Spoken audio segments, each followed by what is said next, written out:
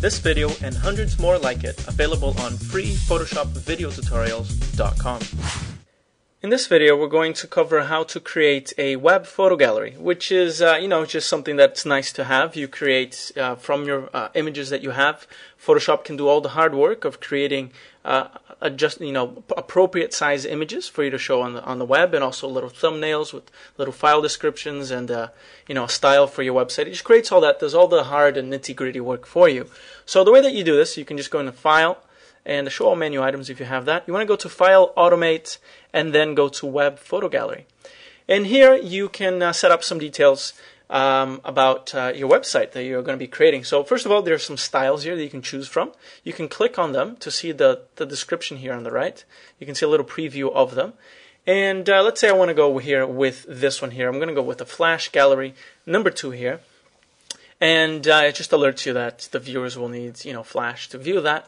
If you don't want to flash one then you can just select any one of the other ones that don't have flash and um, you can set up here an email address if you want uh, which will you know be shown in in in your uh, website and uh, mainly here, what we want to concern ourselves with here is the source images. So uh, typically, you'll be you know using quite a lot of images. So you want to select the folder that has all the images that you want to use for your uh, for your uh, gallery. So we can go ahead and click on choose here, and I'm going to go ahead and just select here the little web album that I have with six images that I want to use for our album. And then what I'll do here is um, click here on the destination to set a destination point. So I'm going to create a new folder here, calling it uh, my flash gallery and select that. So I'm going to go from you know one folder to the other. They have to be separate folders, not inside each other. And uh, one little thing here is if you have folders within your folder of you know your original images, make sure to tick the include all subfolder so it includes all of those folders. If you don't want them included, just untick that. If you don't have any other folders inside of your folder, you don't need to worry about this. Okay, and uh, the other option here, the last thing is your options. So you have quite a few options here. There's a general banner and so forth. The ones you need to concern yourself with is, um, I'd say, is largely here the banner, which uh, will show here your uh, your site name, your uh, you know your name and contact details and so forth.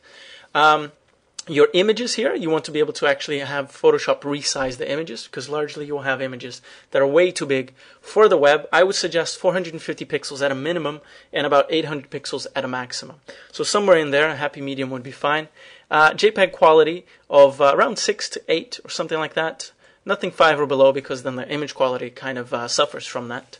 And you want to make sure that your image actually you have here, it goes by default, but just make sure you are constrained to both, uh, which means both the height and the width, whichever one is the biggest one of your image. So if you have portrait or landscape images, it'll fit that to 450 pixels. So you don't end up with huge images whichever way. So just whichever one reaches 450 pixels in this example here would get constrained first. So that works really well. And uh, the other uh, bit here that you need to concern yourself with is the thumbnails. Thumbnails are the little previews here down at the bottom, and uh, 100 pixels I think works really well. You can also you know choose different sizes if you choose to, and um, you know medium, large. And the last bit here that's kind of interesting is the uh, security. Security allows you to essentially put in a watermark over your photos so that people can't, uh, you know, easily steal them or something like that. So what I've done is selected here a custom text and put in my text here saying, you know, the year and these are my photos and so forth.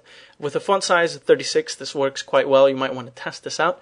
A color of white and opacity of 40%, which means that it kind of, it will look more like what you're used to, uh, you know, just a, a watermark. So uh, leaving out a 40% means that you can see the text, but you can see the things underneath it as well. So it's not, you know, absolutely opaque. So that works quite well. I'm going to click OK, and Photoshop will just do its thing. It'll resize all, all the images quite quickly and open up your default web browser, and uh, it will uh, load up your gallery. So here we are with our little gallery, and uh, what we can do here is just select within, you know, our, um, you know, we can see our images and so forth. So here you are with uh, your photo gallery done.